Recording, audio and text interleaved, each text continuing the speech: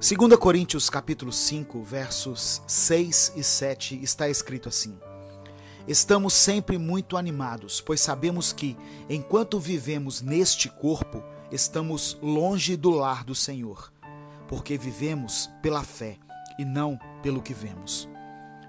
Muitas coisas foram escritas sobre a fé na palavra de Deus. Por exemplo, o livro de Hebreus diz que a fé é a certeza daquilo que esperamos e a prova das coisas que não vemos. É importante termos fé, pois todos os dias somos desafiados em alguma área da nossa vida.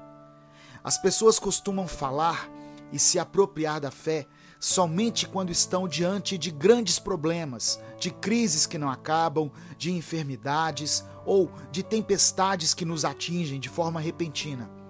Tudo isso requer que tenhamos fé. Paulo escreveu aos Coríntios que havia neles uma motivação constante, mesmo que estivessem longe do lar celestial, porque a fé que eles tinham fazia com que eles tirassem os olhos das circunstâncias e continuassem acreditando em dias melhores. Muitas vezes, a fé que você tem será o único combustível que te fará prosseguir. É importante termos fé para obtermos grandes conquistas, mas a fé também está relacionada às pequenas coisas. Ela pode simplesmente nos dar força para levantarmos da cama, para começar um novo dia.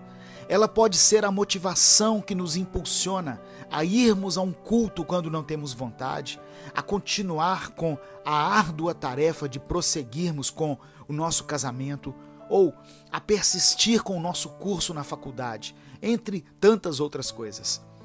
A fé que temos em Jesus não somente nos remete à salvação e à vida eterna, mas por causa dessa certeza de que um dia iremos morar no céu, ela nos dá força para continuarmos prosseguindo em nossa caminhada.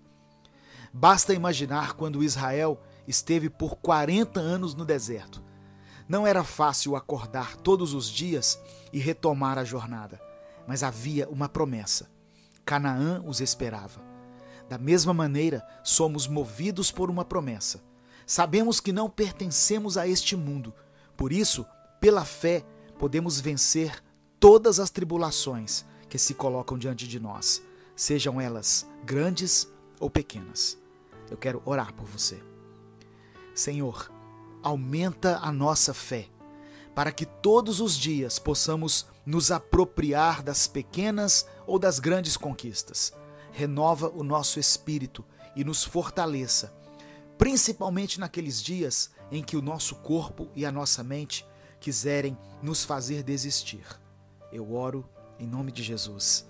Amém. Deus te abençoe. Eu sou o pastor Edivaldo Oliveira e esse foi mais um Minuto com Deus.